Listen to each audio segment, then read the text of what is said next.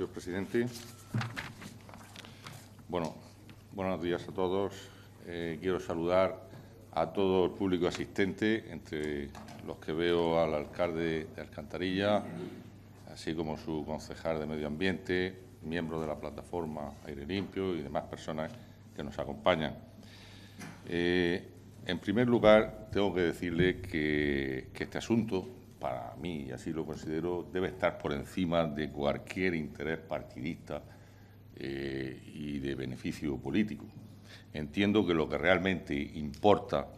es dar una solución o intentar dar una solución a la preocupación que en estos momentos pues tenemos los ciudadanos que vivimos, entre los que me incluyo, en Alcantarilla, Jabalí Nuevo o Sangonera de la Seca. Eh,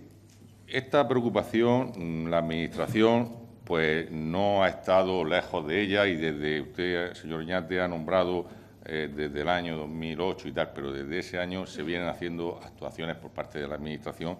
y que, bueno, de alguna manera los que nos hemos preocupado en conocerlas, así están. Yo voy a relatar algunas, pero por la limitación del tiempo, lógicamente, no me puedo remontar a años tan atrás. Pero sí le voy a decir algunas actuaciones que se han llevado a cabo por parte de la Administración local y regional. Concretamente, eh, por parte del Ayuntamiento de Alcantarilla, le puedo decir que ante las muestras de preocupación de los vecinos, además de las numerosas eh, inspecciones y controles realizados a las industrias de la zona y de exigir estudios olfatométricos a distintas empresas, además de esto se contrató los servicios de una empresa especializada en controles atmosféricos, instalándose cuatro captadores pasivos en distintos puntos del municipio, concretamente en los barrios donde más quejas se habían suscitado y en las inmediaciones de las instalaciones industriales. Dichos captadores analizaron durante 12 días del mes de, de diciembre 2013 diversas sustancias contaminantes adicionales a las controladas por la red de vigilancia.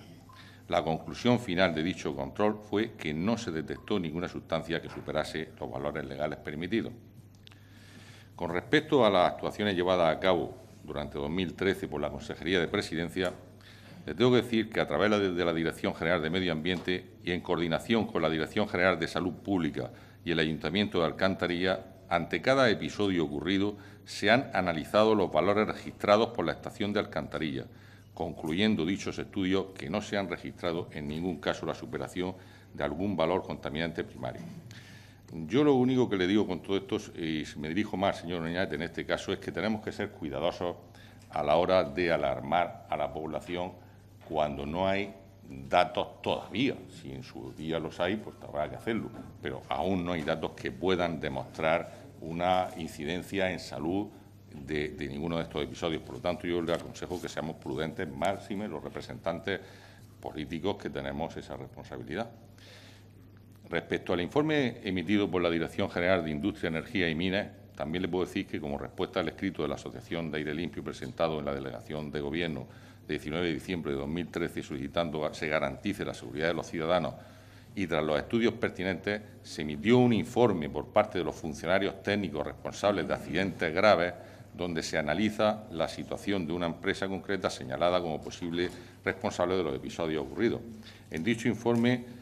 eh, indica que esta industria química durante el 2013 pasó favorablemente la inspección periódica que requiere la legislación de accidentes graves y asimismo se indica en el informe que se han adoptado las medidas necesarias para limitar las consecuencias de accidentes graves dentro y fuera del establecimiento.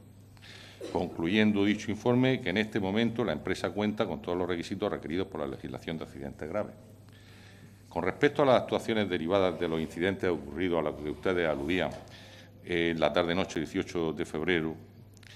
eh, hay que decir que ante las quejas vecinales recibidas por incidentes ambientales en dicha fecha por parte de la Consejería de Presidencia y a través de la Subdirección General de Calidad Ambiental, también se procedió a realizar visitas de inspección a las empresas próximas a los núcleos de población afectados.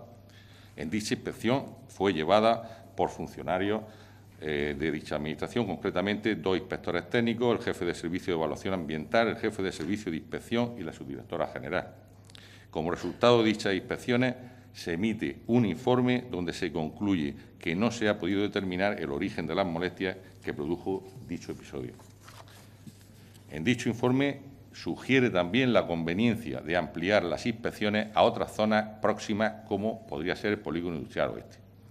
Al no haber podido establecer causa-efecto de estos episodios, se está continuando la investigación en colaboración con distintos departamentos de la Universidad de Murcia.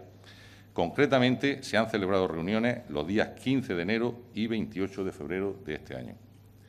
Dentro de los trabajos que continúa haciendo la Dirección General de Medio Ambiente, se han determinado las instalaciones industriales próximas que puedan usar tolueno en sus procesos, pudiendo influir en los valores registrados. Y concretamente, le puedo decir que se han contabilizado 16 industrias pertenecientes al término municipal de Murcia y 17 en el término municipal de Alcantarilla, totalizando 33 instalaciones industriales que pueden usar tolueno u otras sustancias contaminantes en la zona de influencia de Alcantarilla, Jabrí Nuevo y Sangonera la Seca por lo que los estudios próximos a realizar entendemos que deben contemplar todas las instalaciones existentes de todos estos establecimientos. También hay que recordar que antes, que antes de que ocurriesen estos últimos episodios, en esta Asamblea aprobamos destinar en los presupuestos por 2014 20.000 euros para el desarrollo de estudios epidemiológicos y, en su caso, elaboración de planes de prevención. También hemos aprobado recientemente una moción para que con el uso de las mejores técnicas disponibles se vayan rebajando los niveles de emisión de contaminantes atmosféricos y adaptarlos a los establecidos por la Organización Mundial de la Salud. Se ha podido comprobar el esfuerzo y dedicación de las distintas administraciones ante esta problemática, y en ningún caso ha habido dejación. La Administración regional va a continuar las investigaciones, y así me consta, con actuaciones futuras y a pesar de la situación de crisis actual y del acto corte que supone la Dirección General de Medio Ambiente, va a utilizar un novedoso sistema de evaluación atmosférica para determinar el origen de los episodios de malos olores y las posibles emisiones contaminantes, permitiendo la obtención de información integral sobre sustancias hasta ahora no identificadas, completando así los datos de la actual red de vigilancia atmosférica instalada en la zona. Por otro lado, hay que decir que nuestra comunidad autónoma va a ser pionera en la puesta en funcionamiento de un plan regional de mejora de la calidad del aire que va a permitir predecir con 24 y 48 horas de antelación la calidad del aire que respiramos los murcianos, aplicando las medidas correctoras necesarias que va a marcar un inicio de una nueva etapa en el cuidado y el respeto al medio ambiente. Y el Grupo Popular, dejo, mm, le digo que lejos de querer sacar réditos electorales de esta problemática, va más allá en las propuestas para tratar de solucionarla. Y, de hecho, pues eh, es la, moción que, de alguna manera, hemos planteado eh, como una transacción para que los tres grupos pudiéramos aportar pues todas aquellas mm, propuestas que den, de alguna manera, eh, respuesta y solución a, esta, a esta problemática.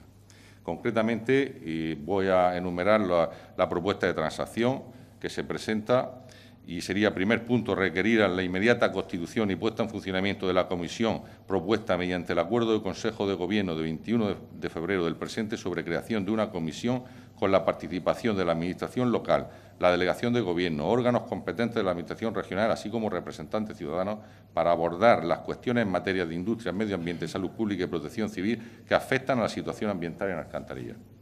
Segundo, solicitar la comparecencia del consejero de Presidencia en esta Asamblea Regional para dar cuenta de la situación actual del Plan Aire de la región de Murcia, así como las actuaciones llevadas a cabo en, relación con los episodios sucedidos en Alcantarilla y otras zonas cercanas. Y tercero, requerir a los órganos competentes de esta comunidad autónoma en materia ambiental y de salud pública a continuar la realización de estudios y actuaciones necesarias usando las mejores técnicas disponibles, como puede ser aumento de puntos de estaciones de medición, instalación de medidores en continuo en determinadas industrias, etc.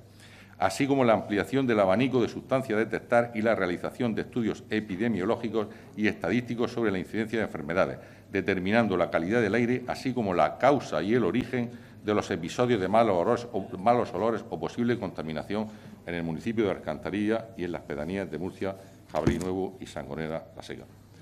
Termino, señor Gómez, termine, por termino, señor presidente, diciendo que estas propuestas mm, son las que pensamos que pueden solucionar la problemática actual y mitigar, mitigar la preocupación que ahora mismo podemos tener los ciudadanos que residimos en esta zona. Con lo cual creo que sería una actitud lamentable eh, el que alguno de los grupos pues, trate eh, de anteponer ese beneficio a, un rédito electoral que creo que no, que no sería bueno para nadie en esta región. Muchas gracias por su atención.